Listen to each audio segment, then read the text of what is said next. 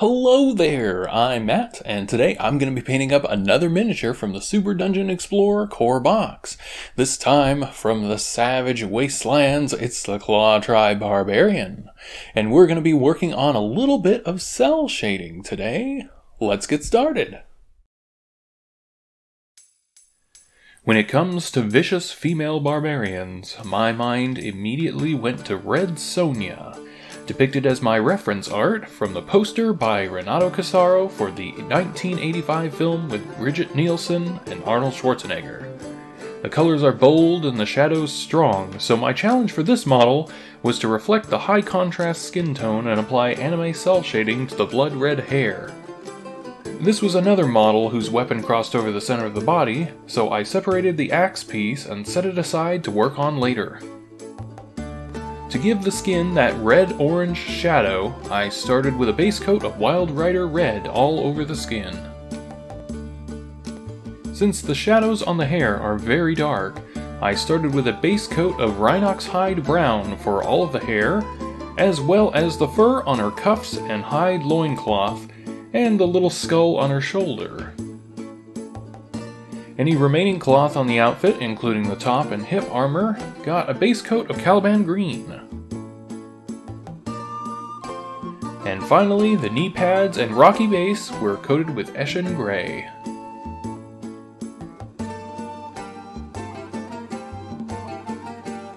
Because I started with a darker base coat for the skin, I began working on the first layer rather than applying a wash. For this, I created a 50-50 mix of Wild Rider Red and Kislev Flesh, since the Kislev Flesh color has quite a peachy orange tone.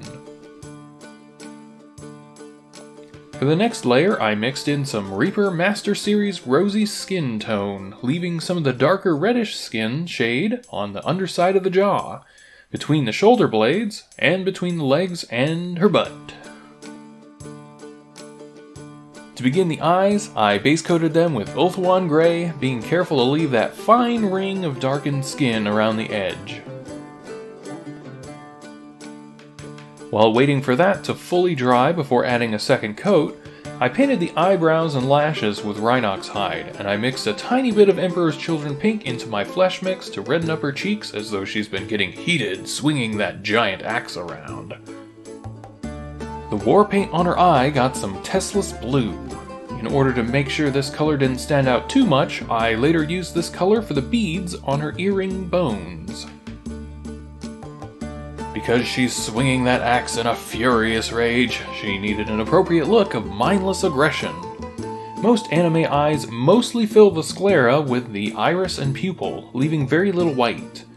However, when the characters are very angry or very scared, the iris and pupil tend to shrink together, so our little barbarian got small irises with bloody Khorne red, a very dark Caliban green for pupils, and Ulthuan gray for reflection.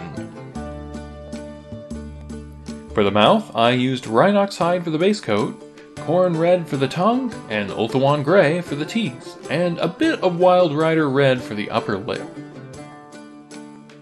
After a quick touch up on the skin, it was on to the hair.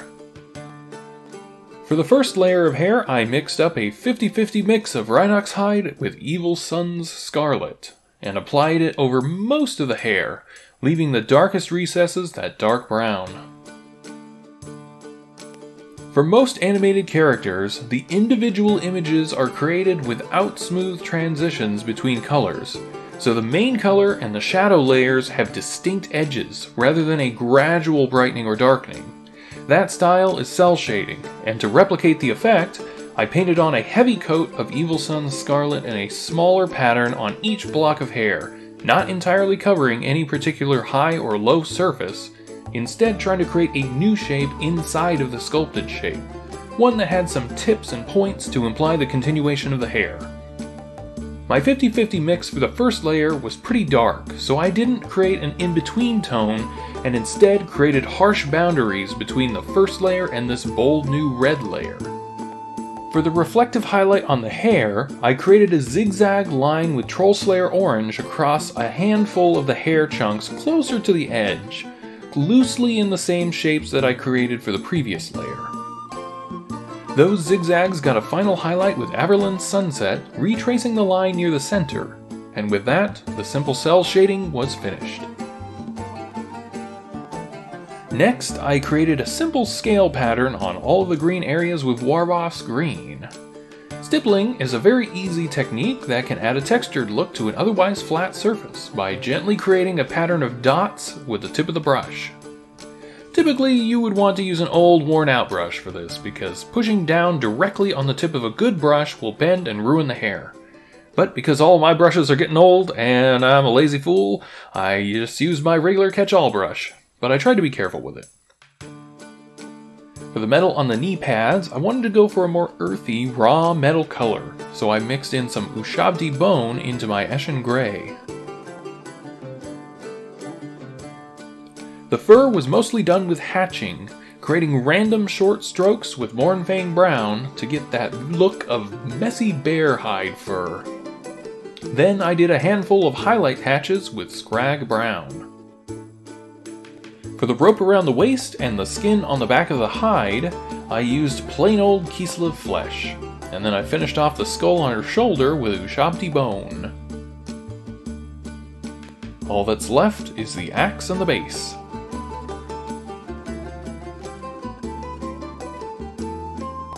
I cleaned up my base by coating the surface of the stones with a 50-50 mix of Eshin Grey and Fenrisian Grey, and then finished them off with an edge highlight of pure Fenrisian Grey.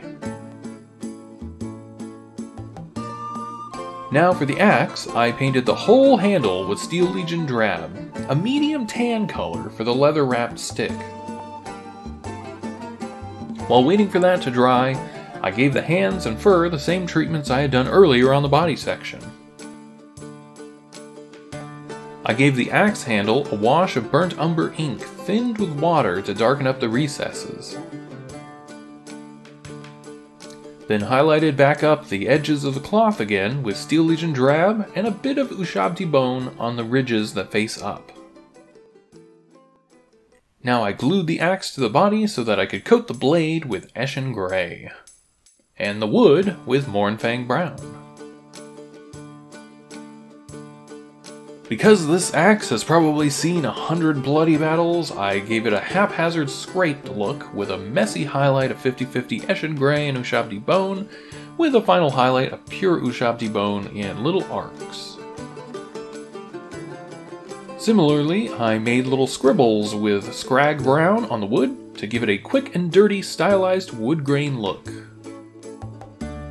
All that was left was to give the nails on the wood some Eshin Grey and clean up the base rim. In the end, I went with Wild Rider Red for the base rim because it had a hint of orange in it and I was thinking of the Barbarian as the orange player character. However, it is probably a bit bright of a choice for some people. If I were painting this model for display, I'd probably go with a darker, less bold color, but for the cluttered game board, I chose to leave it an easily recognizable color. This model was a ton of fun to paint, and she gave me the opportunity to use a little bit of a wide range of techniques. I can't wait to see her in action smashing kobolds with that crazed expression and comically large axe in my next Super Dungeon Explore session. If you enjoyed watching me paint the Claw Tribe Barbarian, first of all, thank you so much for watching. If you want to see me paint these miniatures live, you can find me over at twitch.tv slash microtonalmatt. The link to that will be in the description below. And of course, if you want to see me paint the rest of this box in these brief uh, video formats, you can subscribe to me here on the YouTube channel, and that will really help me out. Once again, thank you so much for watching, and I hope to see you in the next video.